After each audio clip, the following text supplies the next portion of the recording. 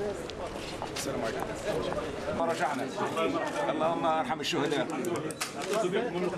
Non, non, non, non. D'abord, c'est pas le diable, et ensuite, on pactise pas avec le diable. Il faut quand même pas, il faut pas prendre euh, euh, les, pour les pour les talibans de la Tunisie, c'est quand même une fraction modérée de l'islamisme. Donc, c'est pas le diable, et on n'a pas pactisé.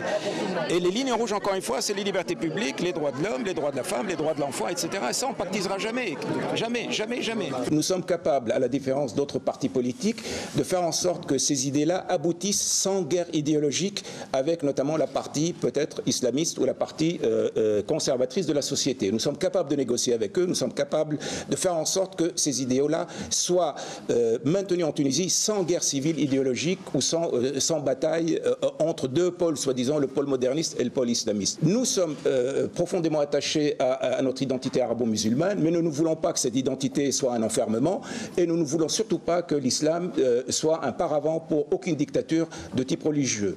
Nous nous sommes adressés aussi à la, population euh, délaissée que nous avons vue à l'intérieur et dont nous avons pu mesurer euh, l'immensité, la détresse immense pour dire nous sommes avec vous, avec vos droits socio-économiques et nous allons nous battre pour que vous puissiez évidemment profiter de la situation actuelle.